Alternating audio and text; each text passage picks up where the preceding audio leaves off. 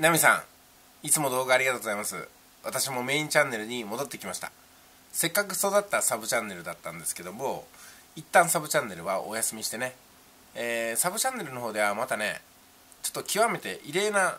動画の発信をしようかなと思って今考えてるところでございます。メインチャンネルはね前回と変わらず今までと変わらず速稼塾の情報隠居 TV 中心にお送りしたいと思います。そしてナミさんの今回の動画ねステーキング報酬が入ったよってことだったらこちらの方もおめでとうございますですよ。ということは私のとこにも入ったということなんですよね。お互いおめでとうございますと。やっぱ体のねプレセールで購入していたことが全ての人生のもう逆転ホームランだったと思いますね。まあ私の場合は逆転ホームランだったんですよ。ナミさんの場合はまああのご商売もね最初から順調だったと思いますしいや新潟に行ったのが本当にね懐かしいなっていう気持ちでございます、まあ、ナミさんがね、えー、本当に生き生きと商売してらっしゃりとかあの娘さんがね、えー、美味しいとこにお勤めになったりとかで私は新潟に行ったら絶対にヘギそばを食べようと思ったんでそれもかなってね嬉しい限りでございます。この前もねヘギそばあのヘギそばを送っていただいたのをいただいていやーやっぱねいいっすね。新潟万歳！っていうところでございます。まあ片っぽではね新潟っていうのは外国勢力のなんか土地買収とかにあってだんだん侵食されてるところもあるんでちょっと心配なんですけども、まあ、今回ねステーキングのことについてお話ししないといけないんで、えー、そういったちょっとね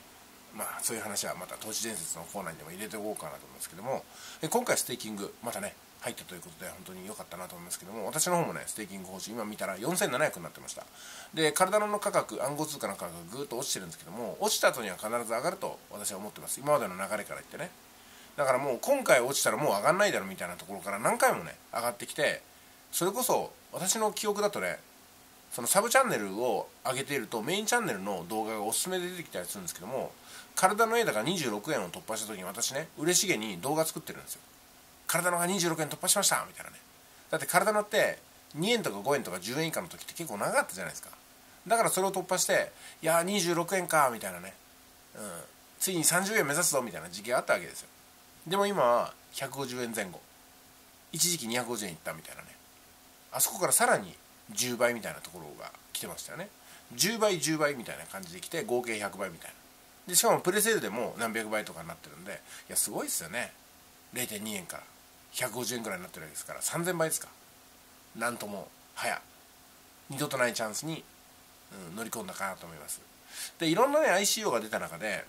体の絵だけがこうやってね、えー、堂々と値段を上げてるわけですけども他の通貨どうなっちゃったんですかね。あのノアコインっていうのは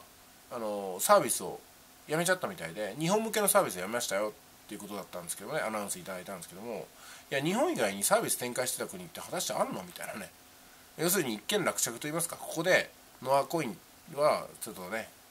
名実ともにさよならになっちゃったのかなと思いますしスピンドルに至っては平然とねガクトテレビに出てたりね偉そうげに喋ってたりしますけどもね。私は買ってないんで何の恨みもつらみもないんですけどもまあガクトさん暗号通貨のことは私たちに任せてくださいって形ですよ。ガクガクトさんはね暗号通貨苦手なんだから。ガクトさんも騙されちゃった。ね。俺も騙されたんだとかって怒ってますけどね。ということで本日は以上でございます。俺も騙されたんだみたいなね。ガクトさんがね追及されたらいや俺も騙されたんだとか怒ってるみたいな。そんなところがありましたけどね。本当はどうなんでしょうか、えー、いやでもね暗号通貨いろいろありますよね。うん。面白い。それでは失礼します。また動画送ってください。